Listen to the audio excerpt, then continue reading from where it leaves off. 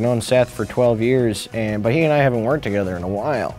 But it was like riding a bike. As soon as we kind of we just we have a thing, and we just kind of connected, and all of us did. I know what happened. You guys dropped acid, didn't you? Mm-hmm.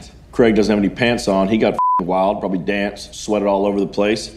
You got white all over your mouth, Frankie. You probably sucked somebody's dick. Jonah over here probably watched and jerked off.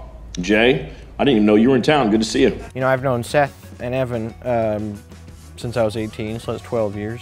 Um, and a kid that they, that Evan went to school with at McGill, Jason Stone, him and Evan came up with this idea of, uh, you know, Seth and I stuck in an apartment together during the apocalypse. The trailer was put on YouTube, yeah, shortly after we shot. It got a pretty big following. And then studios in LA were sort of knocking, saying like, we would like to make this as a movie. Eventually, Seth and I stuck in an apartment during the apocalypse became five or six actors playing themselves stuck in a mansion during the apocalypse. Seth Rogen, Jonah Hill, James Franco, Craig Robinson, Danny McBride, and myself.